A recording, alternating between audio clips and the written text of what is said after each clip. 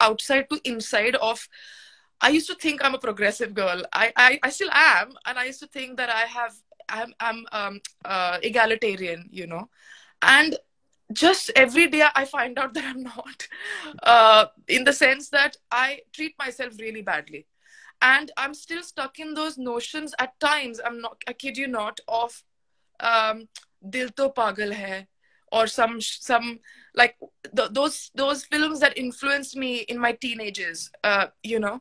And that's scary. That's extremely scary because that's not how my brain functions. That just a very uh, in- instant response that my emotions have learned or something like that. So i think in, at work also it took a while to just even understand that something is not okay. Um, right. i was always on the side of defending the people who um, were bad to me and fighting with people who were good to me. Uh, you know, that was the pattern, and that is a pattern in my life anyway. So I'm trying to change very, it takes so long and such effort. Um, so um, even recently, two years ago, I did a film, and I don't want to tell which film because it was a weirdly complicated issue. And the director, I respected that director. I thought he was fuck, uh, like brilliant and he may he asked me whether i'm okay to do something. And i was like yeah yeah yeah absolutely. But just the situation in which he asked me was obviously so stressful that if i had said no we would have not been able to shoot. Uh you know okay. so a few people around me were like this is not okay. And my uh, agents uh, uh, were so angry that they were like we are going to make this into a big issue in the sense not publicly uh, that we'll see but legally. Right. And i was like excuse me he asked me and i have really no problems doing that. And it took me such a long time to understand that i shouldn't be put in that situation. So now right. in my recent projects i i know i come across as a bitch. People think that oh she's so difficult. Oh she has a problem with everything. And you know what? To hell with what they think. Because I, I really couldn't give a rat's ass anymore. But recently, I have been asked that question. I take a few minutes before I react. Uh, you know, first of all, that's my step one. I don't react immediately. I stop.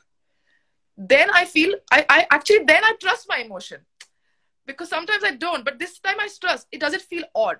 The moment it feels odd means you have to trust your gut and so i stay with it and then i literally have started using this language i have been saying that the question you have asked i'm not going to answer because the fact you're putting me in a position by asking that question which is wrong. So you should be asking this question. So forget right. whether i'm going to answer it or not but this question shouldn't be asked to me in this setup in this situation today right now.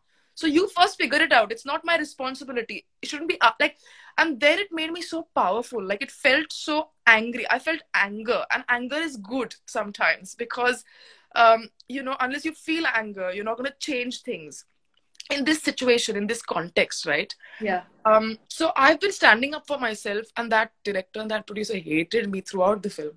Uh and uh, that's fine.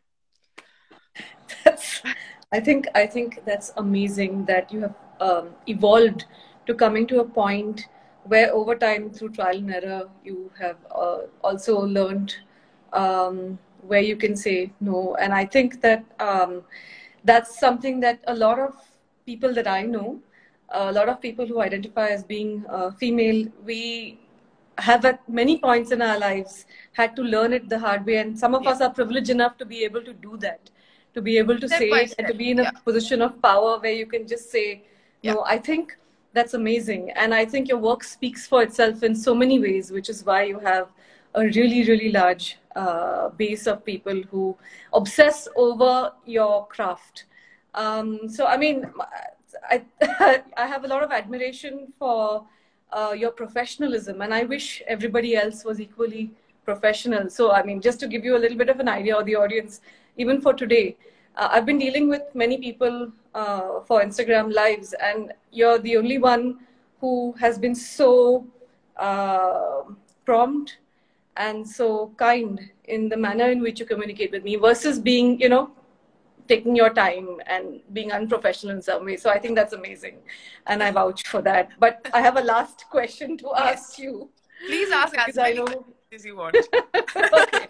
So my last question for you for today is that sometimes uh, some books or some poems or some scripts or some movies, some pieces of art sometimes affect us so deeply, and uh, they can bring about a complete shift or a paradigm shift in the way in which we think, feel, or experience the world. Now, I remember reading George Bernard Shaw's Arms and the Man or watching Cinema Paradiso, and these are two points that I know really shifted the way in which I feel or deeply moved the human spirit. Uh, can you share with us a few things or movies or scripts that touch your core so that maybe we can leave on a slightly more positive note?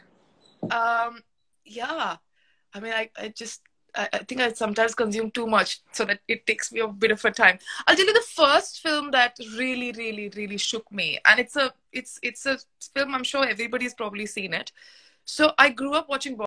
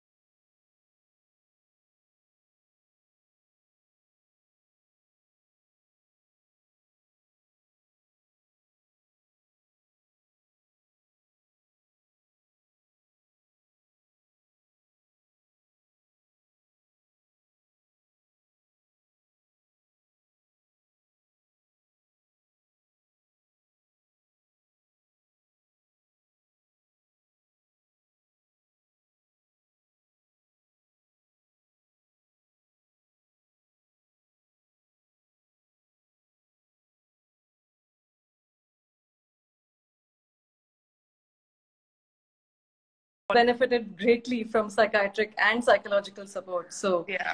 I think that's something that I'd like to encourage a lot. Thank you for Thank being you here. so much. Thank you. And I'm going to log off now. yeah. cool. Okay. Bye. See you soon. Bye.